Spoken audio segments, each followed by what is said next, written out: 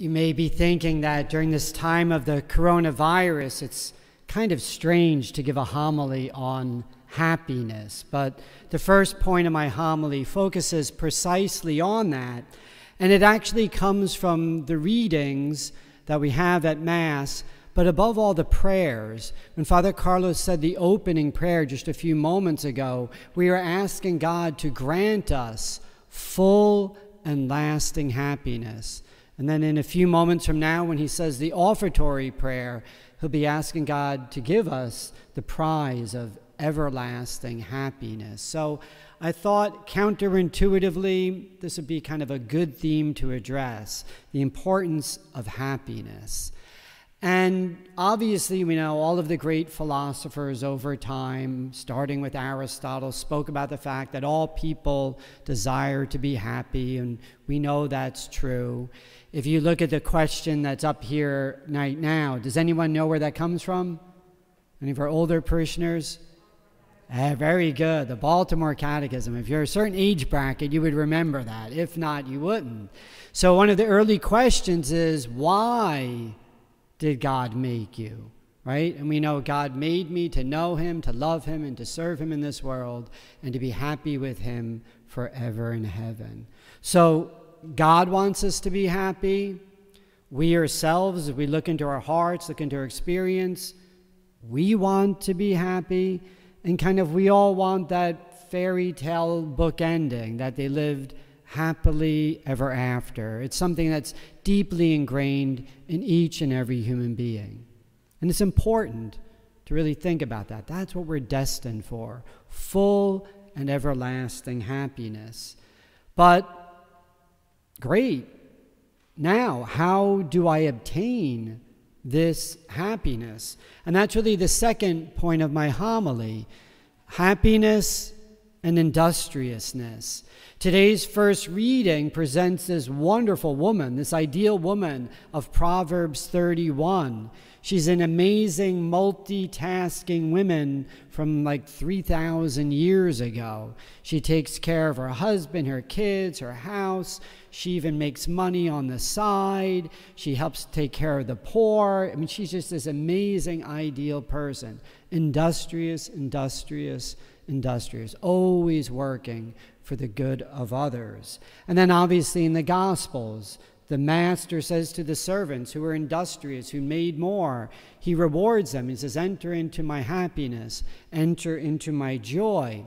So, it's something that we know is a core part of our lives, is that we have to kind of, as well, with God's grace, earn our salvation, right? We have to work out our salvation.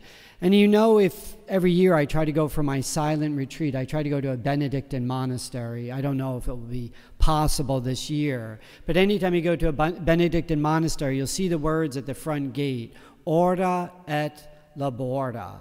And those words of St. Benedict mean pray and work. So we are called to pray, to say, God, help me to find this happiness both here on earth but more importantly in heaven. And Lord, let me work with you. Let me work with the graces you're giving me to obtain that happiness. But both are necessary, both prayer and work. So, obviously, we could talk a lot about that distinction between happiness here on earth and the real happiness in heaven. Because we all know that happiness on earth, it's fleeting good days, bad days, twists and turns, ups and downs, deaths and births, and all these other things. So, is that what Jesus is talking about? Is that the happiness he's discussing? And ultimately, the answer is no. What he's talking about is that everlasting happiness what we call the joys of heaven.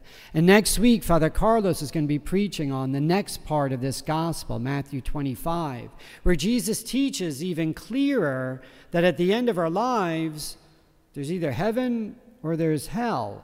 And you don't often hear homilies about hell, and this is not going to be some type of hellfire and brimstone type of homily.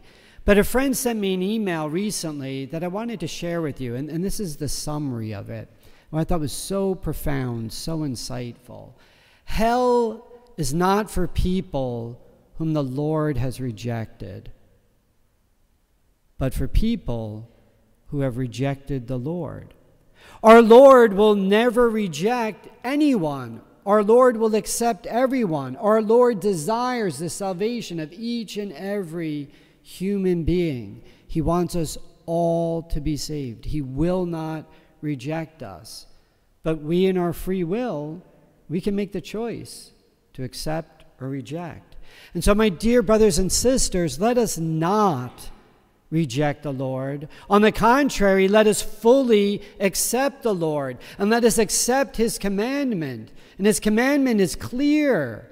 His commandment is to love to love God, to love our neighbor, to love our enemy, to love without counting the cost. This is the commandment that God has given us. Let us fully, fully accept and not hold back any part of our acceptance of our Lord's command.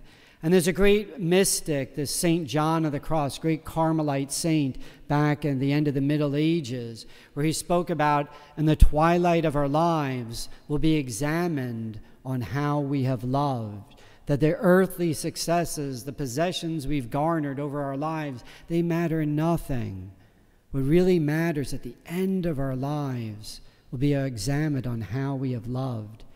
And you know, about 20 years ago, when I was a young priest, I was beginning, obviously, my priestly ministry, but I was also beginning my academic uh, internship, so to speak, my first teaching at the college level. And I remember being so excited about it. And I was a very fair professor, pretty demanding as well, but I made it clear to all of my students at the beginning of the course if you do the readings, if you take notes when I give lectures in class, you should do very well on the final exam.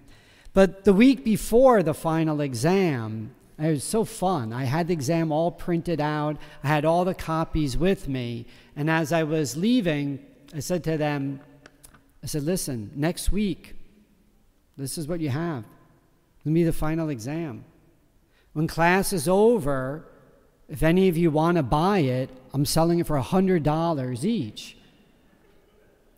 Obviously, I was joking, but I remember seeing some of the students kind of like reaching for their wallet, right?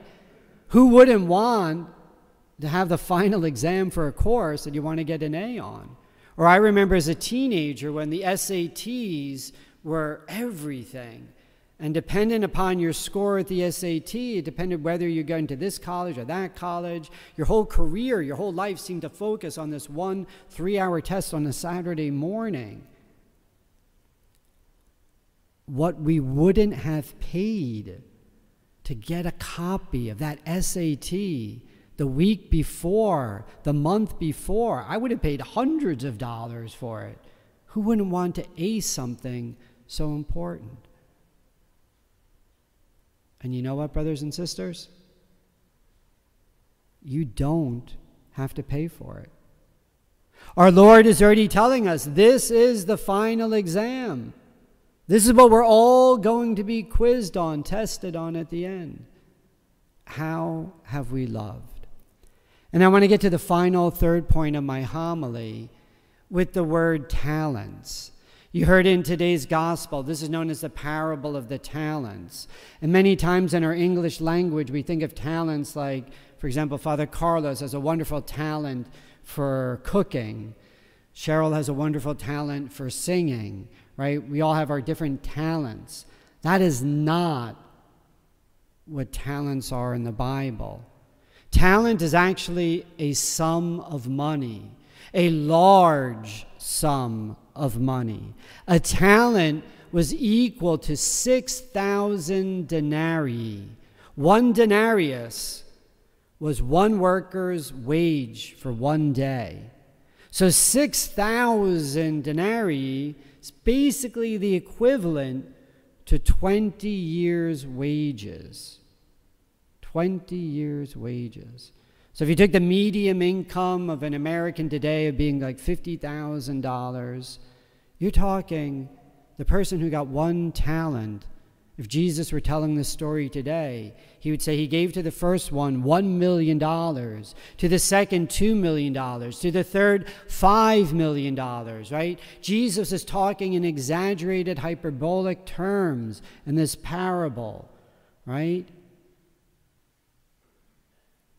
But today, when you leave church, God's not going to give any one of us a million dollars.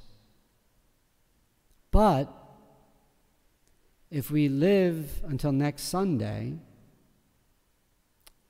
God will give each and every one of us 10,000 minutes. Do the math 24 times 60 times 7. 10,000 minutes each and every one of us will have. Will we bury most of those 10,000 minutes? Or will we be industrious? Will we use them to bring happiness to God and to those around us?